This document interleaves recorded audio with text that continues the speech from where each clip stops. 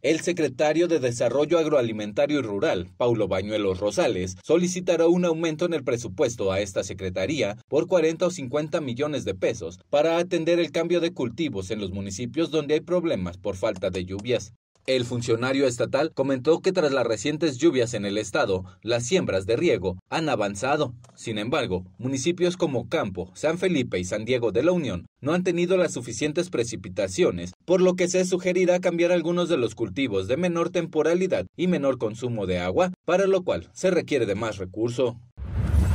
que sin duda que ahorita le voy a plantear también eso de que a ver si nos puede ampliar un poquito más de presupuesto.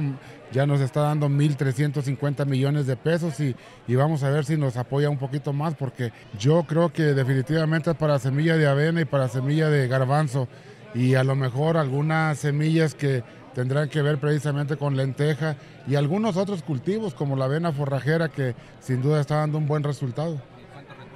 No sé, pero yo creo que vamos a ver si nos da unos 40, 50 millones de pesos más. Paulo Bañuelos señaló que el recurso se utilizaría para la compra de semilla de avena, garbanzo y de lenteja, entre otros cultivos que están dando buen resultado y han sido bien aceptados por los productores. De la misma manera, comentó que las precipitaciones pluviales no han causado ninguna contingencia en los lugares donde más ha llovido, incluso han sido benéficas para los cultivos y se llegará a cosechar al menos 1.700.000 toneladas de cereales. Para Noticieros Expresa TV, informó Roberto Lira.